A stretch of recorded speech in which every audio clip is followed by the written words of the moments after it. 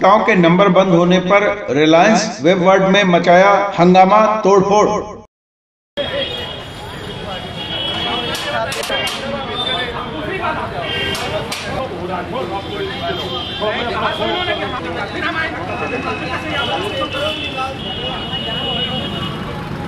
हमारा phone date कर दिया।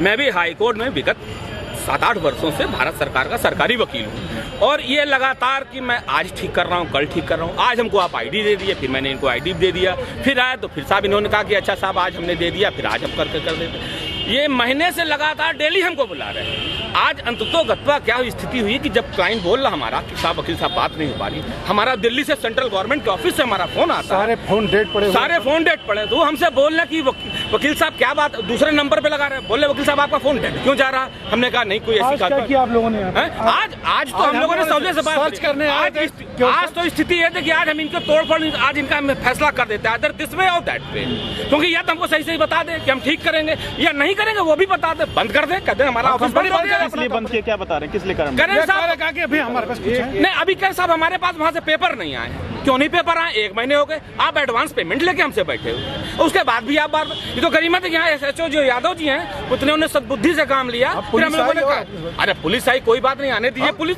हम लोग कोई ऐसा थोड़ी गलत काम थोड़ी कर रहे हैं। या मैं कोई कानून अपने हाथ में लेकर चल रहा हूँ